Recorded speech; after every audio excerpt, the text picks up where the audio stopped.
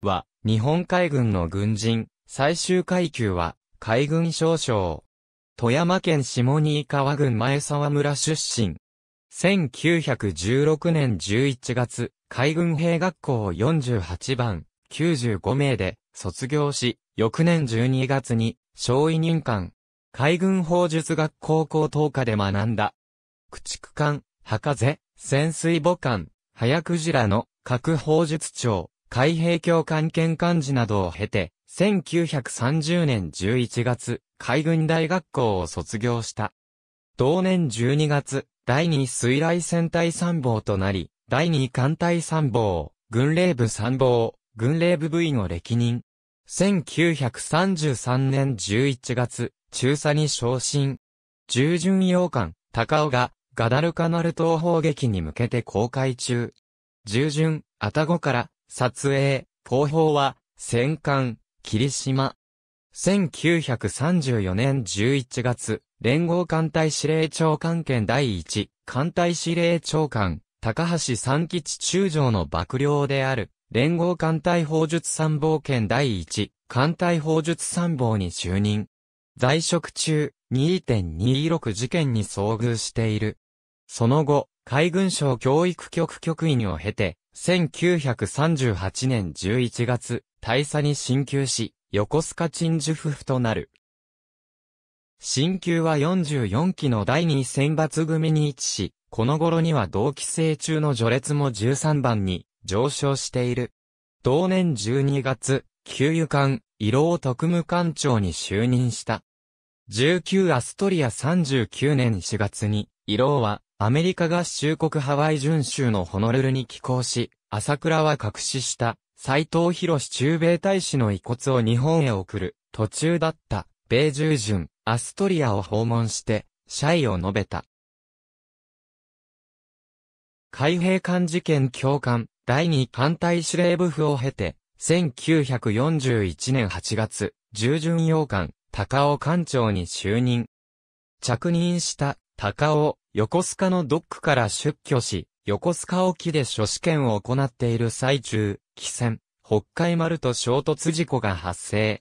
火は、高尾川にあったようで、朝倉艦長は、謹慎20日の懲罰を受けている。艦の損害は、当時の金額で、約28万円だったという。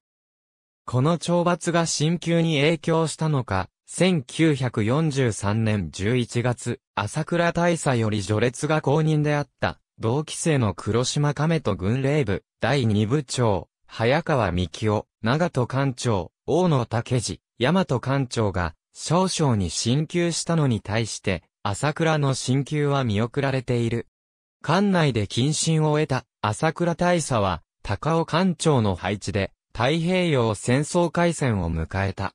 以降、近藤信武中将が率いる第二艦隊第四戦隊所属として、南方作戦、アリューシャン作戦、第二次ソロモン海戦、南太平洋海戦、第3次ソロモン海戦と1年半もの間、多くの作戦に従事した。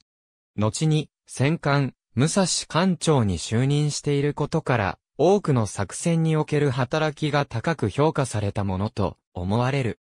1943年2月、管制本部出資となり、管制本部総務部、第2課長、県総務部臨時魚雷艇班班長、連合艦隊司令部府を歴任。戦局は次第に日本に不利に傾きつつあり、朝倉の末娘は同年春頃、夜中に帰った父が母に対して、あまり長引いたら、難しい、力の差を分かっているのだろうかと語ったことを、記憶している。同年12月に、武蔵第三代艦長に就任した。1944年5月、少々に進級。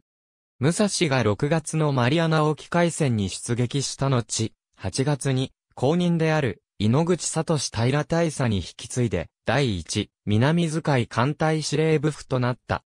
その後、第一、南遣い艦隊参謀長兼補給長、第13航空艦隊参謀長兼第一、南遣い艦隊参謀長を経て、第10方面艦隊参謀長兼第13、航空艦隊参謀長兼第1、南遣い艦隊参謀長として、湘南島で終戦を迎えた。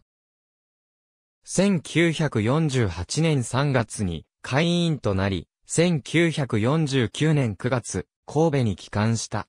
富山県に戻った後、前沢村などが合併して成立した桜井町の助役、教育庁を経て、道庁などが合併して成立した黒部市の初代教育庁を務めた。